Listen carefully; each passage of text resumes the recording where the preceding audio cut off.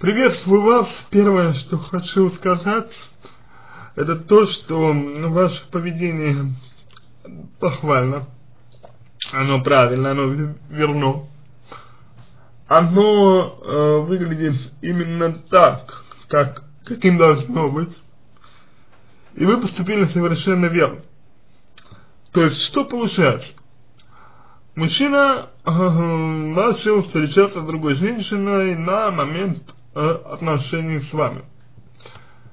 На момент брака с вами. А он с этой женщиной начал встречаться, он с ней провел много времени, видимо, раз решил с ней жить. О чем сказал вам? Вы, естественно, понимая, что ваш, э, ваше достоинство, ваши чувства растаптывают грязь, э, даете мужчине то, чего он хочет, то есть отпускаете его, и тем самым как бы позволяете ему жить так, как он хочет. Ну, мужчина решил, а, что вы ему не подходите, решил, что с вами жить ему не нравится, решил, что он встретил другую женщину, с которой ему лучше, ну, так тому быть. Вы ушли, пожелав счастья, и вы молодец. Но мужчина, а, пожив, видимо, неделю с этой женщиной, а, осознал внезапно и вдруг, что он потерял в вашем лице. Вполне вероятно, что эта женщина, которой он ушел, э, была для него всего лишь простым увлечением, и не более того. И когда он понял внезапно, что вас-то рядом, рядом нет, когда он понял внезапно, что вы-то с ним больше не будете, Господь спохватился и решил вернуться обратно к вам. Потому что увлечение это одно, а вот, знаете, совместное проживание это совсем-совсем другое. И вы знаете, а, в принципе, в принципе, если мужчине действительно чего-то не хватало в ваших отношениях, если он искренне раскаивается в том, что сделал, но простите, искренне раскаивается, это не значит, что он вас обманывает. Как можно говорить о том, что с ней ничего не было, если как минимум была интимная связь, было его, были его слова о том, что он не хочет больше с вами жить, хочет жить с ней, а было по сути дела предательство. Значит, что-то было.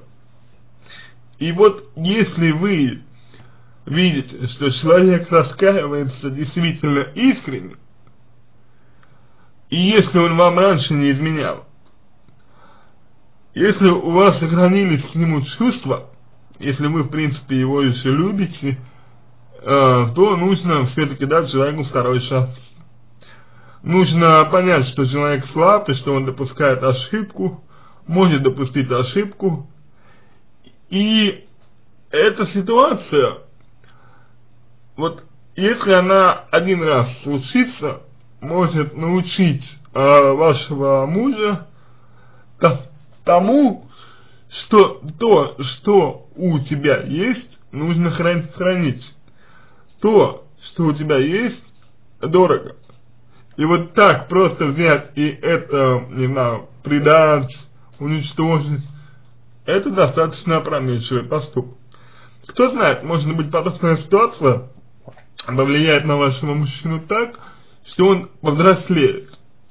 В любом случае шанс дать нужно. Конечно, вам решать, стоит давать или нет, но исходя из э, первого раза, исходя из того, что у мужчины могло быть увлечение, э, думаю, можно. При условии его раскаивания, сильного раскаивания, и при условии, что он скажет вам правду. То есть не будет отрицать, что ничего не было. Если правду скажет, вы у него этой правды можете попросить, тогда можно э, попробовать как бы дать, дать ему второй шанс, можно попробовать э, понять, почему так случилось, что он решил уйти к другой женщине, чем вы его не устраиваете и так далее. И, понимаете, вот это то, что вам нужно сделать, с ним поговорить. Без злости, без криков, без уходов. Просто спокойно у него спросить, почему он так поступил. И послушать его ответ.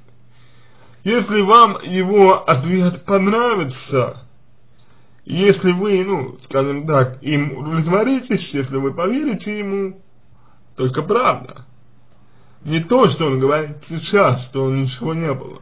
Он боится, по всей вероятности, вас еще больше оттолкнуть. Но он уже оттолкнул. Дайте ему об этом понять.